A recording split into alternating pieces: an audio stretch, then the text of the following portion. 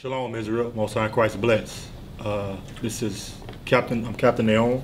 I'm also alright. All right, and this is 15 minutes with the captain. This is IUIC Houston, and today's topic is going to be God is a separatist. God is a separatist. So, of course, we know Christianity through the lies that they teach that God loves everyone, that it's equality for all. But we're going to get in the scriptures and show you that God is not equal with all nations, and also He's not dealing with all nations. Right. All right. So the lies will be uh, broken up today. All right. So let's start off with uh, Second Ezra six and fifty-four. Second Ezra six and fifty-four.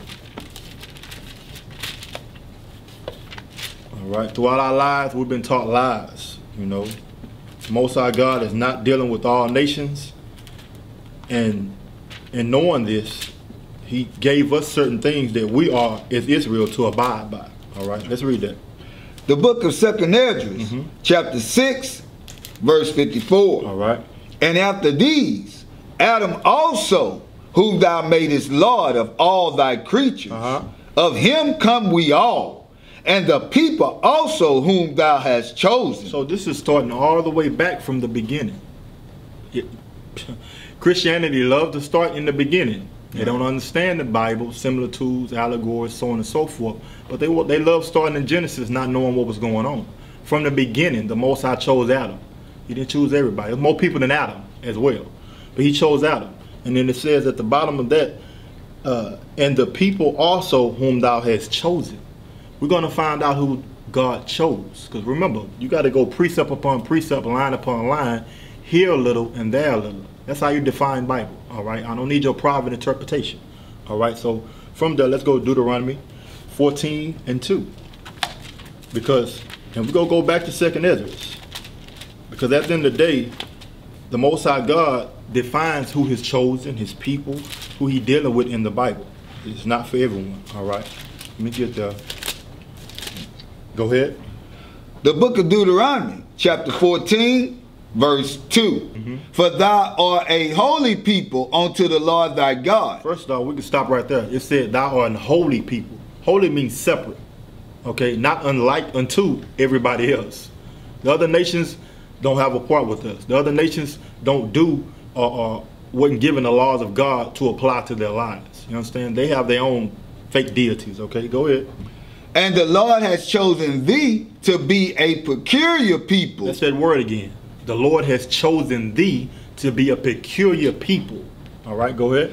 unto himself Unto Himself, unto the Lord God. Go ahead. above all the nations that are upon the earth. above all the nations that are upon the earth. Keep reading. Thou shalt not eat any abominable thing, So it then when you read it goes into what? Dietary laws. The Most High set us apart in every which way you can think of from these other nations. We're not like unto them. We're separate from them. All right? And holy unto the Most High. So from there, let's go back to 2nd Ezra 6 and let's start back at 54. the book of Second Esdras, chapter 6, verse 54. And after these, Adam also, whom thou madest Lord of all thy creatures, of him come we all, and the people also whom thou hast chosen. So we understand and establish that the Most High God chose particular people. All right, we all come of Adam, but it's separate nations in there. Go ahead, keep reading. All this have I spoke spoken on before thee, O Lord, because thou madest the world for our sakes. So He made the world for the children of Israel. Go ahead. As for the other people, Now He's going into the other nations, the other people that were created and made. You know, God made everybody in every nation, but that particular people He chose, and the other people He for to talk about the other nations. Go ahead. which also come of Adam, mm-hmm. thou hast said that they are nothing. What? They're not equal to the children of Israel? No. High said they're nothing to him. He made all flesh for a reason, a particular reason. They're here for the reason that the Most High chose them or brought them here to be here. All right, go ahead. But be like unto spittle, Be like unto spittle, the spit that come out your mouth. Go ahead. and has likened the abundance of them unto a drop that falleth from a vessel. The Most High God don't care about them. That drop of water, that spit that comes out your mouth when you talking, when you um, when your mouth get dry, whatever the case may be, he does not care about. He comparing that to the other nations. He don't care about them. Have no compassion for them. All right, go ahead. And now, O Lord, behold, these heathen. These heathen. So he's identifying the other nations are the heathen. These pastors want to tell us that we the heathen or the Gentiles or the strangers. No, we none of that. We're the children of Israel. Right. All right. These heathen, go ahead. Which have ever been reputed as nothing. They've always had a reputation to be nothing. God chose us. He set us above high, on high. Through King David, King Solomon, so on and so forth, that we ruled at one time. But it's because of our sin and our iniquity while we've been brought to a lower state. All right? We're getting judged for that. All right? Go ahead. Have begun to be lords over us. All right. And to devour us. Today. they're doing that today. Through all their systems and devices they've set up, they're devouring us and destroying us as a nation. Right. And it all starts up here. Go ahead. But we, thy people. We, thy people. That's going back to the chosen that he said up in verse 54. All right, go ahead. Who thou hast called thy firstborn, mm -hmm. thy only begotten, mm -hmm. and thy fervent lover. Wow, that says a lot right there. All right, it says the only begotten, he called Christ is his only begotten. Christ from the tribe of Judah, that's our Lord. It says, in thy firstborn. Let's go to Exodus 4 and 22 right quick to prove who the firstborn is. The Bible defines Bible, all right? Exodus 4 and 22. The, the book of Exodus, chapter 4, verse 22. Uh-huh. And thou shalt say unto Pharaoh, Thus said the Lord, Israel is my son, even my firstborn. See that? It say, Israel is my son. Those are my children, even my firstborn. Indeed, right. my firstborn. That's what he's saying. So understand, the Most High brought Israel out of the hand of Pharaoh. Moses led Israel out of Egypt. So all these markers that we're showing you is to identify to help you identify that God is a separatist, that God is only fighting for one nation of people. You understand? From there, let's go to Leviticus 20 and 23. I hope you you you taking this in Israel and putting all the pieces together to understand that our God, the God of Israel, we go read that, is only fighting, is only working with, is only pushing, and will establish back in the kingdom us. That's it. All right. What I call oh Leviticus. Go ahead. The book of Leviticus, chapter 20, verse 23. Uh-huh. And ye shall not walk in the manners of the nation. Read it again. And ye shall not walk in the manners of the nations. It said, ye shall not walk in the manners of the nations. The other nations have different customs, philosophies, all these things that we, as the nation of Israel, do not consort to, do not uh, deal with. Right. All right. These aren't our customs. The Christmas, Thanksgiving, Easter, all these things we don't identify with because our God didn't give them to us. You understand? Keep reading which I cast out before you. The Most High God said he cast them out before us. Again, he's showing you he's a separatist. He didn't mix and mingle all us together. He cast them out before us. He set us apart, that holy nation. Go ahead. For they committed all these things, and therefore I abhor them. The Most High God say, I abhor them. Abhor means to hate. He hate the other nations. People say we hate. We don't hate. The Most High God hate. That's right. All right. He created all flesh, and He can hate who He created. Go ahead. But I have said unto you, mm -hmm. ye shall inherit their land, mm -hmm. And I will give it unto you to possess it, mm -hmm. a land that floweth with milk and honey. That's the promised land, and he told Moses that he was going to give us that we were going to inherit, come, inherit coming out of Egypt. And he did give us that land, all right? And we go read that in the scriptures, how he divided. Go ahead. I am the Lord your God, which have separated you from other people. Read that latter precept again. I am. I am the Lord your God. I am the Lord your God, Israel. Okay? None else. Read.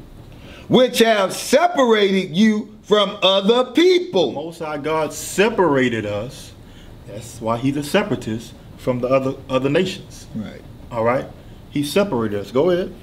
Ye shall therefore put differences between clean beasts mm-hmm. and unclean, mm-hmm. and between unclean fowls and clean. Mm-hmm. And ye shall not make your souls abominable by beasts, or by fowl, mm-hmm. or by any manner of living thing that creepeth up on the ground, mm-hmm. which I have separated from you as unclean. Most High God gave us law, statutes, and commandments. When you read Leviticus 11, He gave us a dietary law what to eat and what not to eat. All the other nations can eat all those defiled food they choose to shrimp, crab, lobster, pork, all those things they can have and love it. We, as the children of Israel, we cannot eat those things. Right. He separated us from all nations to understand we have a, a law, statutes, and commandments that we, as Israel, have to abide by. Right. All right. Uh, from there, let's go to Joel 2 and 27. No, before you go there, go to Deuteronomy 32 and 8. Deuteronomy 32 and verse 8. All right, go ahead. The book of Deuteronomy, chapter 32, verse 8. Mm-hmm. When the Most High divided the nations, mm-hmm. their inheritance, which he separated the sons of Adam, he set the bonds of the people according to the number of the children of Israel. So this just explained a lot. From Adam, all right, he gave us the inheritance of the land. He said he separated the bounds of the other nations according to what we had. So the Most High God gave us our land, but he gave the other nations their inheritance as well. The Most High God separated us from them. He didn't want us to be like unto the Gentile or the heathens. He wanted us to be separate from them. And it goes with today and how we think and being in that Gentile state of mind of everything that we've learned in America. We have to be born again not to do those things, to turn back to the laws of God and remember what He gave us as a nation. All right, Joel 2 and 27. The book of Joel, chapter 2, verse 27. Mm-hmm. And ye shall know that I am in the midst of Israel. So the Most High God said, And ye shall know, that's for all people, all nations to know, that I am in the midst of Israel. Go ahead. and that I am the Lord your God I am the Lord your God, Israel. Go ahead. and none else. And none else. Go ahead. And my people shall never be ashamed. And it shall come to pass. No, that's it. So it says, I am the Lord your God and none else. That's what you have to understand that our God is the God of Israel. All right. When you go to uh, when you go to Psalms, we're not gonna go there, but Psalms 149, 19, and 20 tells you God gave us laws, statutes, and commandments. Not to marry the heathen, not to eat abominable food, not to worship idols. All these things he gave the children of Israel. All right. And for us breaking those things, because when you read that, it tells us we're gonna have a judgment. So go to Amos 3 and 1. All right, Amos 3 and 1. And having those laws, statutes, and commandments that he separated us from all nations, he gave us a judgment for breaking those things. Go ahead. The book of Amos, chapter 3, verse one Uh-huh. Hear this word that the Lord has spoken against you, O children of Israel. So hear the words that God spoke against you, O children of Israel. So the Most High God um, put a curse upon us because we did what? We broke his law, statutes, commandments. Right. All right, go ahead. Against the whole family which I brought up from the land of Egypt, I referenced that earlier. He brought the children of Israel under the hand of Moses out of Egypt. Go ahead. saying, You only have I known of all the families of the earth. He's saying the same thing over and over and over. It's repetitive. The Bible is repetitive. The Most High God saying the same thing because we as a people are not hearing it. It said, You only have I known. So he's the Lord your God only, all right, and none else. Keep going. Therefore I will punish you for all your iniquities. He said, Therefore I will punish you, Israel, because I gave you the law, statutes, and commandments for what? Your iniquities, your sins that you've committed against me. All right? Yeah. That's it? That's it. Okay. That was one and two?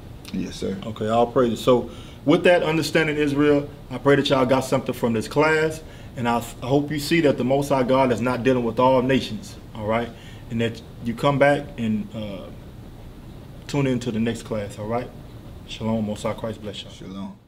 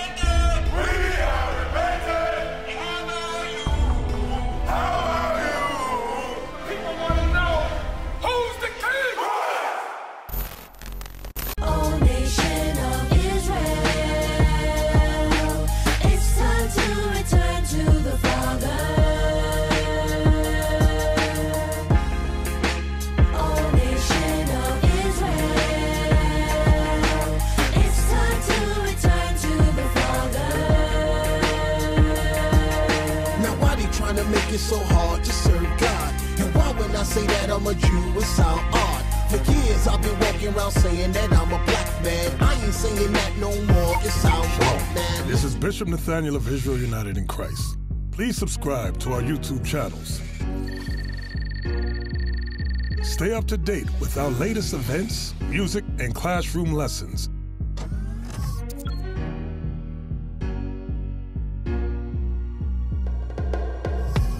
IUIC plans to continue visiting different countries where this gospel has not been preached before. IUIC needs your help in pushing this truth.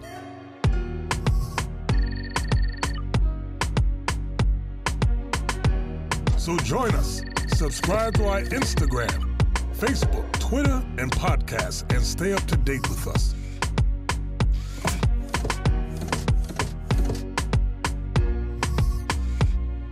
More information, please visit www.israelunite.org.